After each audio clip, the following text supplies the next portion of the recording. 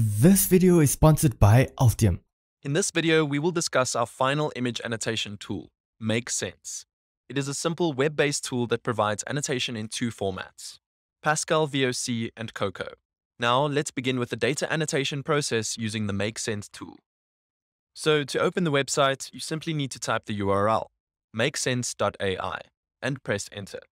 Here, the website will open. And from the website, you need to go to the bottom right corner and click Get Started. From there, a window will open saying Drop Images or click here to select them. Click on that window and select all the images you want to annotate. After that, click on Object Detection. Next, a window would open saying Create Labels. Just click on the plus icon and say Face, because our label is the human face, and click on Start Project. Here, the main tool would open and here you can see we have five images. We will select our first image and go to the right side of this browser, and there you can see it has five shapes. Rectangle, point, line, and finally the polygon. We are going to use the polygon tool, and we are going to annotate the human face. Just zoom in a bit and the same process. Point at one position, left click, point at another position, left click. So you're going to go like this and try to annotate this human face. Just click on the first point. Now this is complete. Now go to the right side and select Label, then click on Face. So your first image annotation is done. This video is sponsored by Altium, the industry standard and most professional PCB design software on the market. I've used Altium for designing printed circuit boards to build my own custom Arduinos and high-speed on-edge computer vision projects. When I tested other PCB CAD softwares out there, I found that nothing came close to the flexibility, ease of use and power of Altium Designer. I mean, if you ever worked on PCB design for computer vision applications, you know that transmitting video signals is a very delicate task, with many high-speed signals that you have to consider in terms of electromagnetic noise, and crosstalk. Altium helps you to easily manage and route high-speed signals with length tuning to ensure that you receive clear image quality on the other end. What's really great is that we have partnered up with Altium to bring you an exclusive discount for our Augmented Startups community. Sign up with the link down below to get 30% off monthly of the perpetual license of Altium Designer. You can also try out Altium Designer for free for the first 15 days. Just click the link down below to get started. Let's move to the second image. Again, the same procedure. Point and left click, point and left click.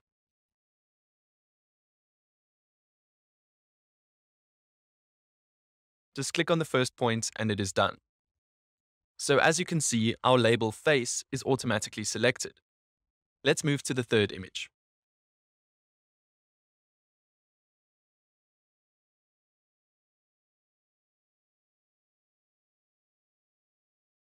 The third image is also done. Let's move to the fourth image.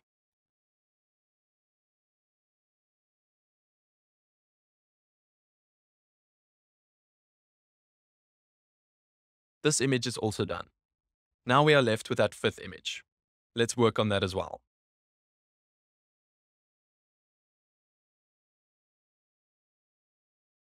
So we are done with annotations of all five images. Now we need to export it in a JSON file. So we're going to click on Actions, and we're going to click on Export Annotations. And here we will select Single File COCO JSON format, and click on Export. Our JSON file is now downloaded, so let's go into the Downloads folder. There you can see our file. Let's rename it first to mask.json. Let's cut and paste it into the code section. Now we're going to open it in a text editor. So this is the JSON file. Let's copy its data and visualize it in the JSON viewer. So you can see here we have four values. First is this info, just describing your project name.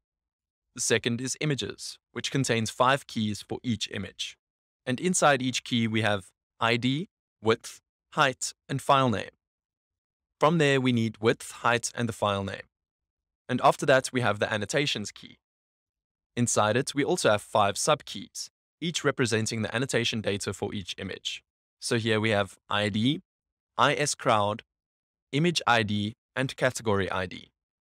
But our main thing is the segmentation key. Inside it, we have our coordinate point as a floating point value. Here, the sequence is the same as the previous one. First, we have an x, then y, then x, then y. And here we also have bbox for coordinate points. Let's move on to the fourth key, which is categories. We can see ID 1, name, face. We don't need this. Our main task is this image and its annotation. Now we're going to write some code and try to process these images and their annotation coordinate points into proper images and masks. First of all, we are going to import the NumPy library. Again, NumPy is used for performing mathematical operations on arrays. And here we are reading images. And on those images, we are going to perform some NumPy operations. Secondly, we are going to import CV2, which stands for OpenCV, and we will use it to read and save our masks. The third is JSON. We will use the JSON module to read the data from the JSON file. Here, our first task would be executing the cell and reading the JSON data. We're going to say f equals open. So first of all, we will read it as a simple text file mask.json. Let's check its name. It's mask.json. Now we're going to say R and read it as a simple text file. Next, we'll load the JSON data saying json.load f. Now let's print the data. So we can see we have the complete data in our notebook. Now we're going to set some path for our mask folder so we're going to say mask. This mask folder would contain our mask. Let's create the folder here. So this folder would save the mask. Now let's extract this images value, which is the value inside these annotations. We're going to say images, the name of the variable containing information, data, images. Next, we'll say annotes equals data and here we'll say annotations. Let's add one more cell here below, and we'll print the images to see what kind of info we have here. We can see we have a list of images, each containing an image ID, width, height, and file name for the five images. Now let's do the same for the annotations. You can see inside annotations, we have segmentation and we have bbox. We have everything which we require. Now we are going to loop over these images annotation. So we're going to type for x, comma y in zip images, comma annotes. So first of all, we'll print what is x here. So we see x is a dictionary containing width, height, and file name. So let us extract the file name first, then height and width. Next, we're going to extract the height. So we're going to type x height. So we have the file name, its height, and its width. Now we're going to initialize a blank mask. We're going to type mask equals np.zeros. That is by height and width. Now let's save this mask and see if our code is working properly or not. We're going to use the fstring method and give it a path. We're going to type mask dir and a slash. Just remember that Linux and Windows conflict about the slash. For Windows, we're going to use these double slashes and then type file name. And this part is now complete we're going to type mask. It's executed without any error. Let's go into our mask folder. So we can see we have blank images. If I show you the shape of each image, it is 768 by 512. Now we are going to write information on these blank masks. We're going to type seg equals y segmentation and for points in seg. Now we're going to have an empty list and we're going to name it contours. Now let's print the points. So we can see each is a floating point value, so it begins with the x-axis, then the y-axis. Now we will loop over this list and properly append all x-axis and y-axes in this empty list. We're going to type for i in range, which will begin with 0 and end with a length of points, and it would increment by a factor of 2. Let's print i and execute it. So it begins with 0, then 2, then 4, then 6, and then 8. Now we will use these numbers to our advantage and append the information from the point into our contour. So we're going to type points, extract information at the index i. Index i is, first of all, 0, that is an x. Then i plus 1. 0 plus 1 would be 1. Like this, it's going to extract x and y. And the same way in the second iteration, it's going to become 2. So it's going to extract the x-axis from the index portion 2 and then the third. Like this, the contour will have all the x's and y's. Now we're going to convert this contour into a NumPy array, and we're going to change the data type to integer 32.